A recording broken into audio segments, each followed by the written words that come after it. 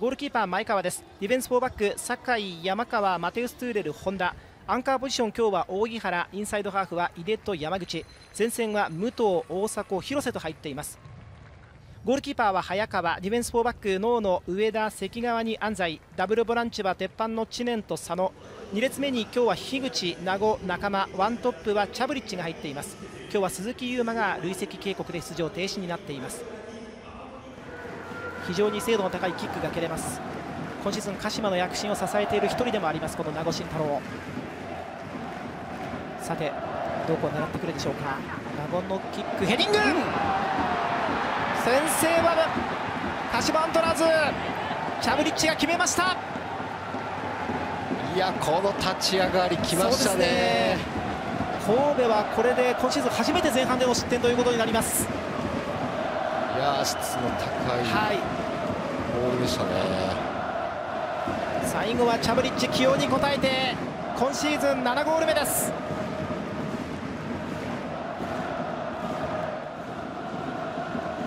結構佐野が出てきた、うん、裏に抜けてきて中にはチャブリッチ。樋口も中に入ってます。中使って樋口だ。落とす。中チャブリッチ左足、うん、鹿島が立ち上がりから非常にいい攻撃を見せてます。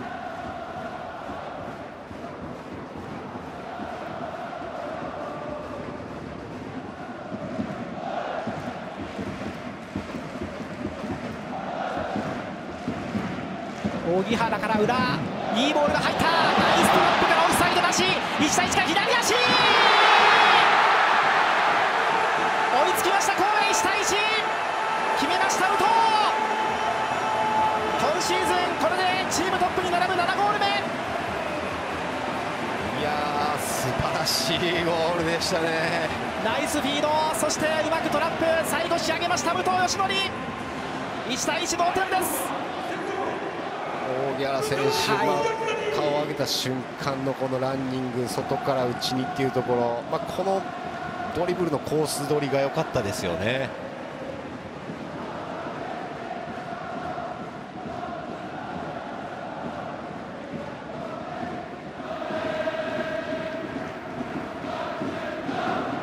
本田がニアに動きしてら中武藤流れていってそのまま押し込んだ最後のゥーレーです今シーズン初ゴールセットプレーからコーへ欲しかった複数得点で2対1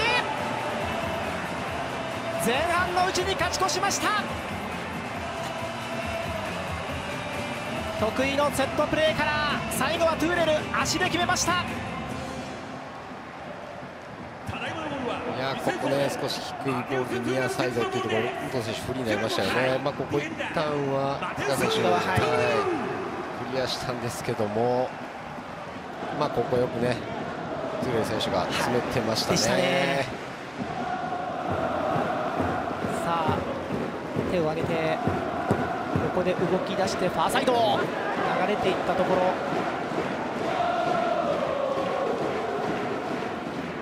樋口。樋口のキック。ボレー。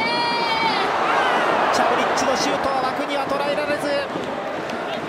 惜しいシーンでしたけどね。うまく合わせましたけどね、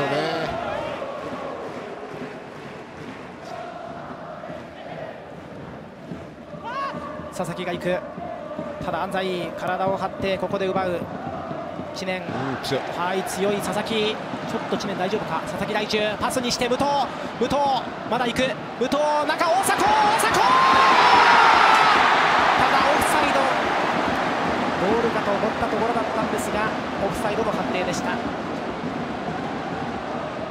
まあ、ここも背負いでね非常に強さ見せましたし、はい。まあ、強くここですかね、はいこの少し体が出てるのかなという。そうですね、うん、武藤のところでのオフサイドですね。ゴール認められました。追加点ヴィッセル神戸。あこのタイミングのところでギリギリですね。ですね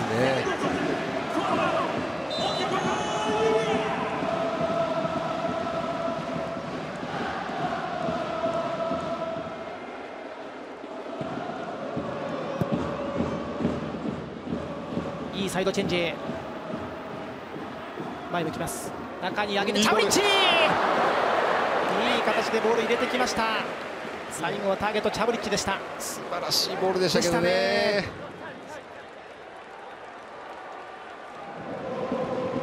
菊池の手前に大迫いますがここはちょっと動きをつけてくるかもしれません。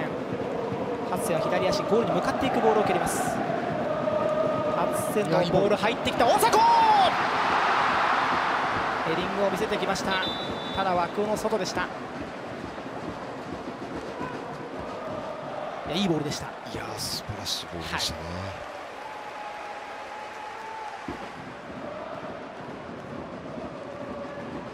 い、カウンターに行ってタイ。ドリブルで運ぶドリブルで運ぶ。藤井も行く。その藤井を使った。藤井ただすぐ入ってきて横使う。名護諸岡諸岡のシュート。正面です。